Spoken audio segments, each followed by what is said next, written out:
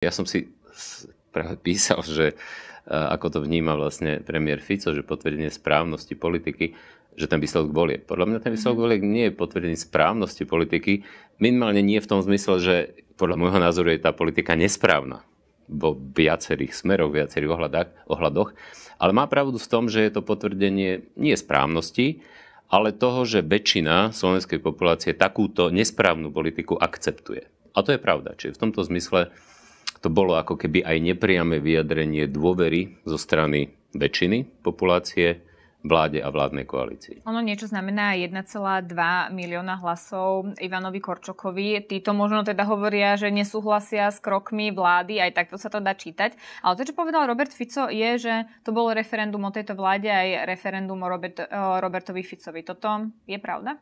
Áno, v istom zmysle áno, ale nie z hľadiska potvrdenia správnosti tej politiky, mm-hmm. ale z hľadiska potvrdenia akceptovateľnosti tej, tej politiky. Alebo toho, že áno, že väčšina ľudí si zrejme myslí dokonca, že je aj, že je aj správna. Čiže v istom zmysle áno, v istom zmysle v princípe si myslím, že Robert Fico v tom pravdu má.